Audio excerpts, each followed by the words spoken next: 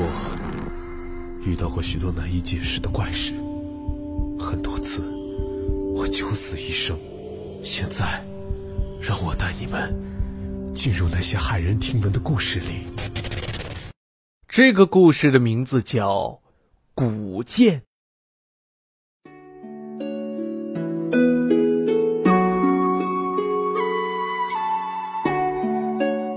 太原市有一条街，太原南宫古玩街。这条街上面摆满了古玩和老百姓家里遗传下来的古董和为人所珍视的古代器物，是先人留给我们的文化遗产、奇珍物品。古玩的收藏与鉴赏是一项高雅的玩，一种有品位的玩，一种有文化的玩，一种背负了历史、寻旧怀古的玩。古玩投资属于艺术品投资的范畴。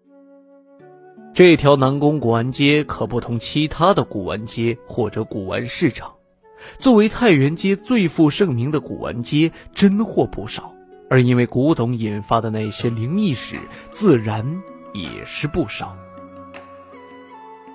在南宫古玩街上，有一家从清朝就开始在这条街上称霸的古玩店。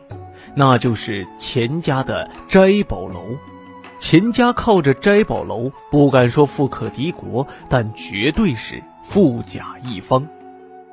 可传到钱佑龙这一辈，斋宝楼已经没落了，因为那个年代连饭都吃不起，哪儿还有人稀罕古董呢？就算有那么一两个人真的是视古玩如命的。可你要是没有过硬的古董，谁肯在那个连饭都吃不饱的年代花钱收藏古董？这要是搁在几十年前，斋宝楼什么宝物没有？像故宫的玉器珍宝，还有寺庙的金佛铜器，斋宝楼那是应有尽有。可日本鬼子进了中原，没少祸害人家。钱佑龙的爷爷为了保住钱氏一脉。只好把祖宗留下来的家产来孝敬日本人，这斋宝楼已经不剩下什么宝物了。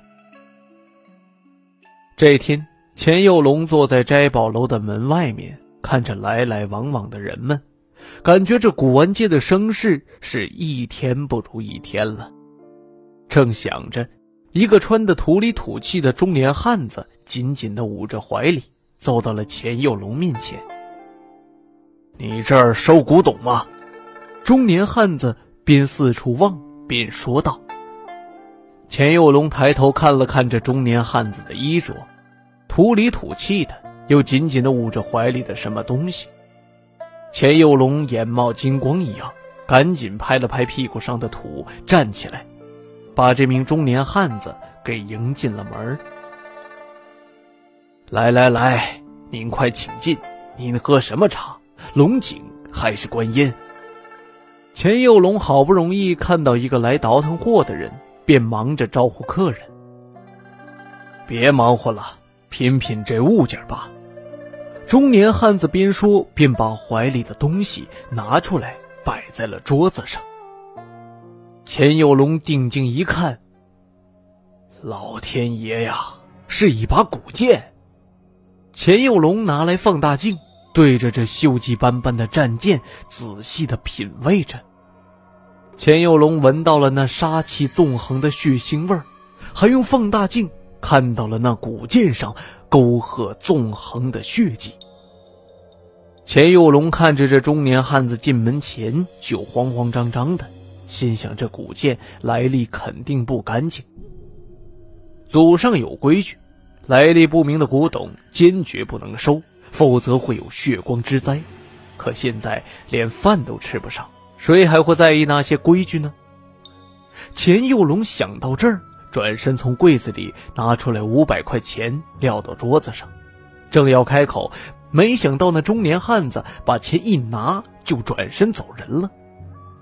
钱佑龙心想：这人倒也痛快。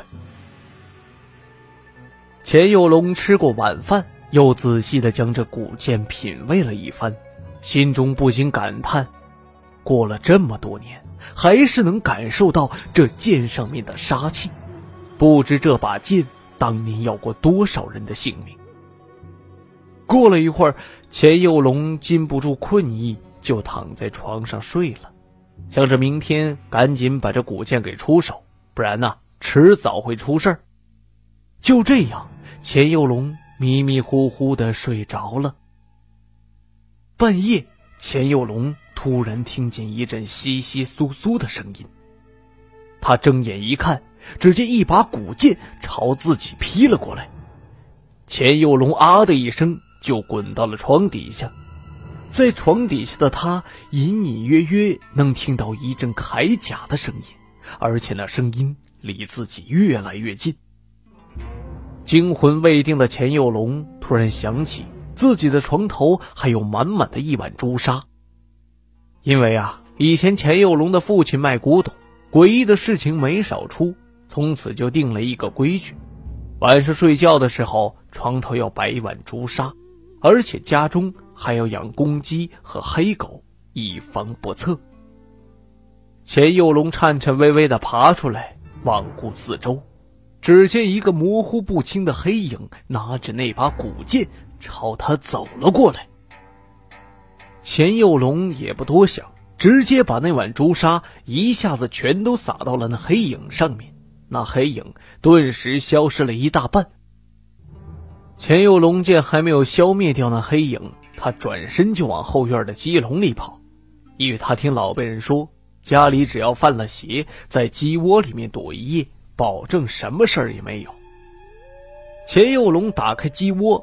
看着这臭气烘烘的鸡窝，正在犹豫进不进，突然就听见身后窸窸窣窣的声音。钱有龙知道这是那把古剑追上来了，就赶紧钻进了鸡窝。说来也怪，钱有龙自从钻入这鸡窝后，那古剑好像非常忌惮这鸡窝，一直在半空中漂浮着，最终咔嚓一声插进了土里。钱佑龙也不知道什么时候在这臭气烘烘的鸡窝里睡着了。第二天一大早，钱佑龙在鸡窝里被这震耳欲聋的鸡鸣声给吓醒了。他揉了揉眼睛，看着外面那插在地上的古剑，半天也没什么动静，便颤颤巍巍的出了鸡窝。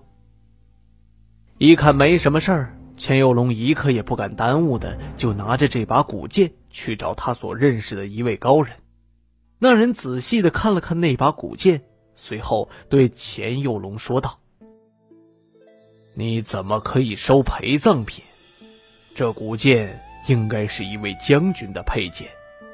不说这将军来找你的茬，就算那将军不找你茬，那剑上面的亡魂无数，你扛得住吗？”还有啊，类似于什么镯子呀、古玩呐之类的，都会给主人带来运气。但是有些主人生前有戾气或者杀心，那物件多少也会带一点的。以后你收东西可要看仔细了，记住，跟死人抢东西那是大忌。钱佑龙似懂非懂的点了点头。从那以后。钱佑龙不管日子过得有多饿多苦，他都只收家里祖传的老物件，绝对不收那些来历不明的古玩古董物件。而且，他也给后代传下了一个规矩：以后家里不收来历不明的物件，家里必须要养鸡，床头必须要放一碗朱砂或一个墨斗，关键时刻。可以保命啊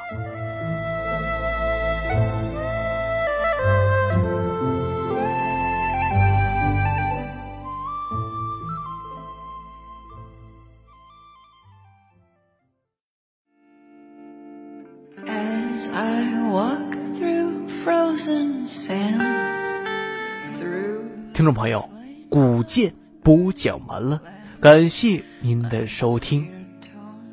如果您喜欢这期节目，欢迎您的点赞、收藏、评论，同时也感谢您的打赏。我是墨梅，我们下周同一时间再会。